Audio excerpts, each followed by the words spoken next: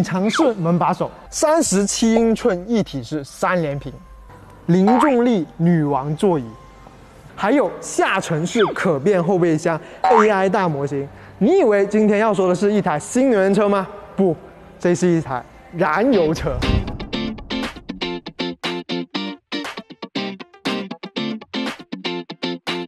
兄弟们，今天我们来看一台长得很像新能源车的纯油车——长安第四代 CS75 Plus。那这台车呢，过去在我们消费者心中的口碑一直都是不错的。从2014年 CS75 系列上市之后，它的销量榜单一直都是在 SUV 市场里面排行前三的，十年累计销量超过两百六十万辆，可想而知。消费者真的是用真金白银去为它的投票了，而这次第四代 CS75 Plus，它的这种拼劲也是肉眼可见的，它在努力迎合现在消费者的一些喜好、一些需求啊。最明显就是设计，可以看到它的外观，真的是很像一台新能源车啊，使用了现在新能源车很喜欢用的贯穿式的灯带。还有这种无边界的格栅，这种感觉就很类似啊！而且在两边还使用了这种横条的灯组造型去给它点缀。本身这台车的车宽就超过了一米九啊，所以从正面看，它那种体量感真的是蛮大的。这也使得它气场真有那种中型车的感觉。但是你来到侧面，它是有努力在克制这种感觉的，包括它的腰线以及轮毂造型。还有它侧面的线条，都是想让它的侧面看起来更加的健硕一点啊。但是如果你把它的后排车门打开之后，你发现它这个空间完全就是中型车了，因为它的轴距来到了两千八百毫米。另外，看到它车顶又是比较啊平缓的这种。啊，车顶的设计并不是那种溜背造型啊，所以对于车内的空间呢，想象力很足。我们接下来到车里面看一下。进来车里，一米八的我可以看到了腿部空间两拳多，头部一拳两指左右的空间，真的是蛮充足的。而它的座椅，刚刚我上车的时候就觉得真的是很不错。你看，按下去是很柔软的，但是又具备一定的支撑。这样坐着真的蛮有那种大沙发的感觉啊！另外，它的配置又是很充足的，可以看到前后排都具备了座椅通风加热啊，这可以说是同级独有的。另外，通风口、充电口。门板还用上了这种类麂皮的材质，摸起来真的是蛮舒服的。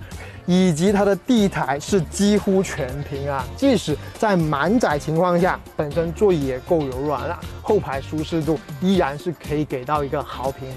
另外，它的后备箱潜力也很足啊，本身在下沉式后备箱开启之前就拥有六百一十升，如果再把这个后排座椅放倒，也是很足够的。如果在满载的情况下，它这个下沉后备箱放下去就可以形成七百二十五升啊，整个扩容面积对我们日常使用啊，上下班或者是出个差，真的是蛮足够的。如果啊储物空间能再更多一些就更好了，因为它这个门板这条缝呢是和下面是打通的，真实的储物空间就只有门板这个放水的位置。但来到前排变化更大，可以看到。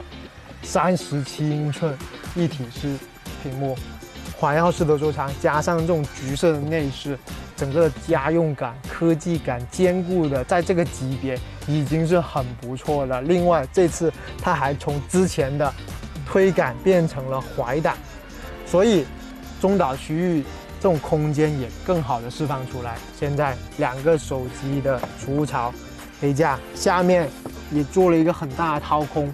放一些物品也是很方便的，只不过我刚刚发现这个扶手箱开启的方式是要从两边去开的，就用起来没有那么顺手。如果在啊这中间做一个凹槽，这样子用起来呢，开起来呢会更加方便一些。另外就是这次它还用上了零重力女王座椅，可以看到这个安全带。是和座椅是一体的，这才是真正的零重力，真正的女王嘛。对于安全性的考虑也会更加的好啊。而这次因为我们探店的这台车它是没有电的，所以屏幕的功能性就没有很好的给大家展示出来。但是我之前我的同事浩景已经试驾过了，给到我的体验。也是蛮惊艳的，因为它本身有一个超级桌面的功能，可以使整个的界面更加的简洁，功能性、丰富度、流畅性这个都有保证。而让我最意外的是，它还搭载了讯飞的 AI 大模型的功能，可以把它当成一个语音助手。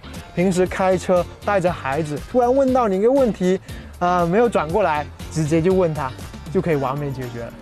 那最后就是动力层面啊，第四代长安 CS75 Plus 这次搭载了新一代蓝鲸发动机的。都知道过去的蓝鲸发动机在消费者的内心口碑一直都不错的，而这次它是首发了500巴高压直喷技术啊。要知道同级车型一般都是350巴高压直喷啊，那这就可以使得它的发动机雾化能力更好。使得它在一千五百转就可以爆发峰值扭矩三百一十牛米，而它的最大功率现在也来到了一百四十一千瓦，整个的动力性能都是有了不错的提升的。而对于它的爱信八 AT，过去在平顺性、可靠性，这个也已经得到了市场的验证了。只不过对比于目前它的两个主要的竞品，星越 L、瑞虎八 L。啊，这两台车主要的发动机还是 2.0T 啊，那长安也在想办法去弥补，所以这次它是全系标配了 L2 级的辅助驾驶功能的。除此之外，它还有50米循迹倒车、APA、代客泊车这些功能去打造第四代长安 CS75 Plus 这个设计智能化的标签。毕竟现在同级别的车型虽然已经燃油车越来越少了，但是留下来的推出的那些新车呢，实力都不小。像我刚刚提到的两个啊，星越 L、瑞虎 8L，所以长安 CS75 Plus 这个车呢，接下来呢应该会有更多的动作啊。而在当下的这个市场环境呢，价格也是往往会决定，也是吸引消费者的最重要一个部分。那第四代长安 CS75 Plus 的预售价，接下来会带给我们怎样的惊喜呢？我觉得是可以期待一下的。如果大家对这台车感兴趣的话，目前在全国大多数店都已经到车了，大家真的是可以到店里面试驾一下。毕竟试驾又不用钱，对吧？亲身感受一下，试一下，这才是不是你真的喜欢的车？那这期视频就到这里了，我是海林，我们下一期再见。